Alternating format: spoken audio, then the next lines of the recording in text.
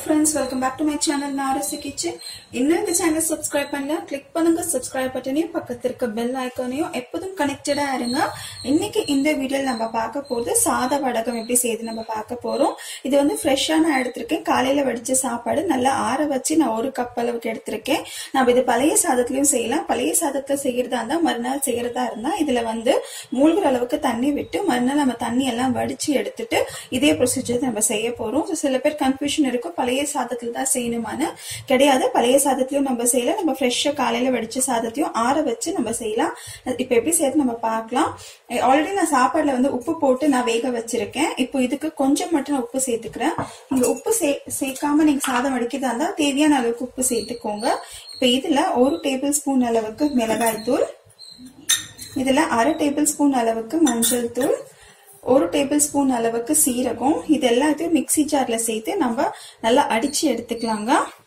Mixer ஜார்ல நம்ம கலந்த பொருள் எல்லாம் எல்லாத்தையும் சேர்த்துடலாம். ரொம்ப ஈஸியும் கூட இது. இது நம்ம செய்யறதுனால சிக்ஸ் மந்த்ஸ் வரைக்கும் நம்ம வச்சு நம்ம இந்த வடகத்தை யூஸ் பண்ணலாம். கொஞ்சமா தண்ணி விட்டு அரைச்சி எடுத்துடலாங்க. நல்லா கொஞ்சமா தண்ணி விட்டு நல்லா இது போல அரைச்சி எடுத்துட்டாங்க. இது ஒரு பவுலுக்கு நம்ம மாத்திடலாம். ஒரு பவுலுக்கு மாத்தியாச்சுங்க. கையில லேசா தண்ணி தொட்டுட்டு இது குட்டி குட்டியா ஒரு கிள்ளி நம்ம இது போல ஒரு தட்டுலயோ இல்ல வெள்ளை துணிலையோ நம்ம வச்சிடலாம். வெயில வந்து ஒரு மூணு நாள் வச்சா போதும். உங்களுக்கு பெருசா வேணும்னா பெருசா வச்சுக்கலாம். குட்டி குட்டியாவும் நம்ம வச்சுக்கலாம். இது ரொம்ப ஈஸியும் கூட. வெயில் ஒரு ரெண்டுல இருந்து மூணு நாள் நல்ல வெயில் அடிச்சிச்சுன்னா ரெண்டு நாளே போதுமானது. வெயில் கொஞ்சம் கம்மியா இருந்தா மூணு நாள் இருக்கணும். நல்லா வந்து மாய்ஸ்சர் எல்லாம் போயிடணும்.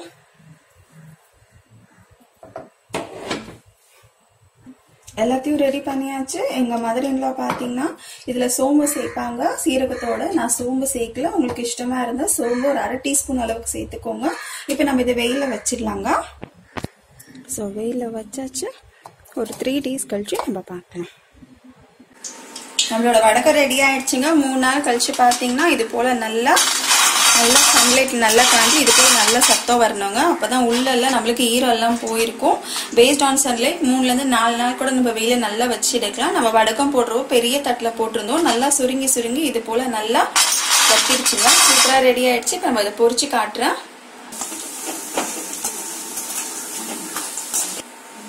நம்மளோட சுவையான வடகம் ரெடி ஆயிடுச்சு.